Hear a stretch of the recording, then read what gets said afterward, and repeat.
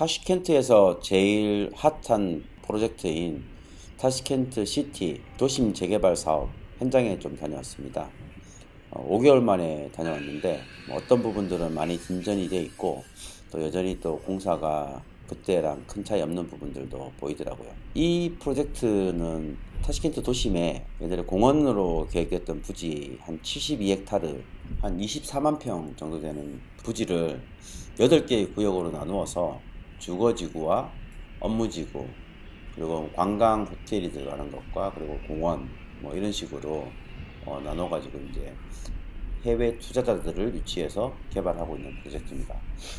어, 그 가든 시티부터 Lot 1, 골든 하우스가 개발하고 있는 Lot 2, 메리어트 호텔이 들어오는 Lot 3, 어, 네스트 1, 52층 아파트가 들어서는 Lot 4, 힐튼 호텔 Lot 5, 그리고 업무 비즈니스 지구인 Lot 6, Lot 7이 이제 블레바드 고급 클래식한 아파트 단지고요.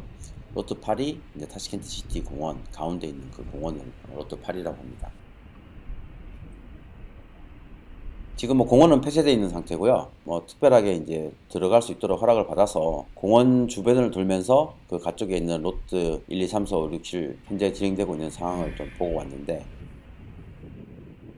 저기 멀리 Lot 4 네스트 1 어, 현장이고요. 지금 이제 저희가 상하이 건설 Lot 6의 그 세개의 은행 건물, 세개의 비즈니스 센터 현장에 들어왔습니다. 여기는 샹하이 건설 세계 건설 도급 순위 9위를 하고 있는 중국 회사가 도급 공사를 하고 있고 이제 그 우즈베키스탄의 알로카 방크, 프롬스트레이 방크, 아사카 방크 이 세개 은행이 중국으로부터 사업비를 loan을 받아서 어, 건물이 뭐 보통 26층, 27층, 30층 뭐 이렇게 구성이 되고 그 중에 이제 한 블럭이 전체 4개 중에 한 블럭이 뭐 우리나라 대한민국의 보미 건설이 지금 진행을 하고 있고요.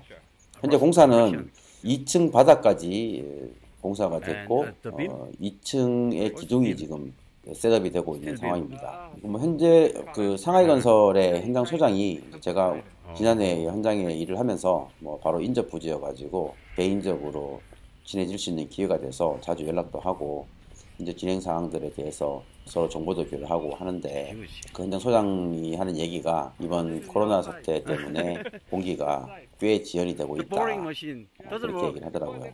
뭐 또 하나 이제 지연되고 있는 사유 중에 하나가 우즈베키스탄이 최근에 건설 프로젝트를 급격하게 늘림으로 인해 가지고 어, 시멘트 부족 현상이 조금 있어요. 우즈베키스탄에서도 뭐 대규모 시멘트 공장들이 있긴 하지만 현재 늘어나는 수요를 공급해주기에는 턱없이 부족한 상황이라 어, 보통 이제 필요할 때는 카자흐스탄이나 타지키스탄 쪽에서 시멘트를 수입을 꽤 하고 있었어요.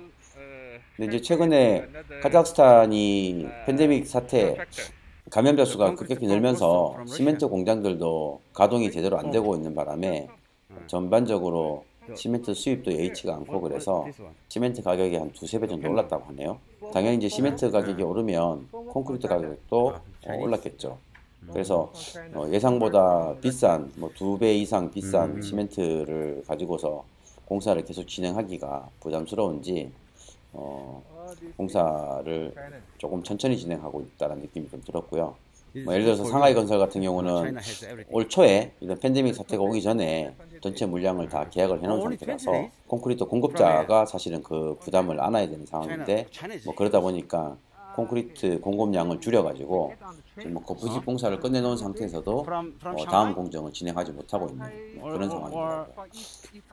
그 콘크리트 공사의 공법을 보니까 어, 거푸집은 중국산을 사용하고 있고요.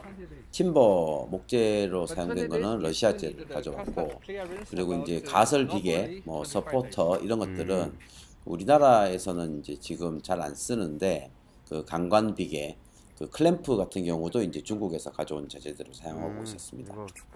콘크리트 간격. 방금 보신 거는 바닥 와. 배근용 spacer고 이 현장에는 현재 중국에서 온 인부가 한 300명 정도 되고요.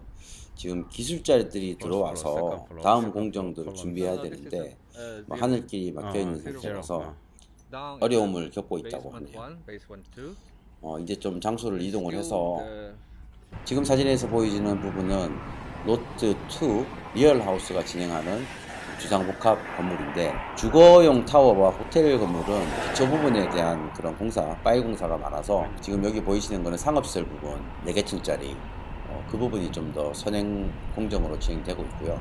나머지 부분은 아직까지 어, 지금 보여지는 장면은 로트 3에 들어가는 한 6만 평, 한 6, 7만 평 정도 규모의 중앙아시아 최대의 쇼핑몰이 들어가는 공사 현장의 모습입니다.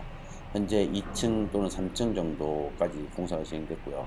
이거는 뭐 전체 층수가 5층밖에 안 되니까 공사 기간이 그렇게 길지 않은데 중요한 거는 이제 이 쇼핑센터 양쪽 끝에 있는 세 개의 어, 20층 이상 되는 타워 그 타워 공사가 생각보다 늦다라는 게 조금 문제죠. 어, 아직까지 지상에서는 골조, 골조가 보이지 않는 상황이고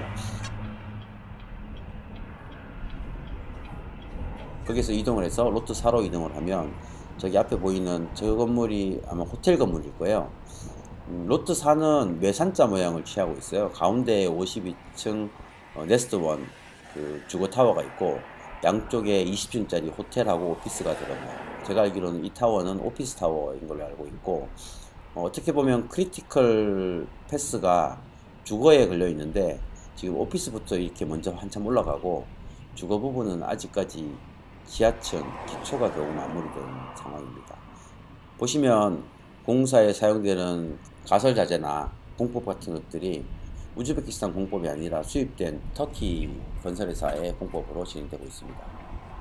아직은 코란틴 때문에 내부까지 들어갈 수는 없는 상황이고요.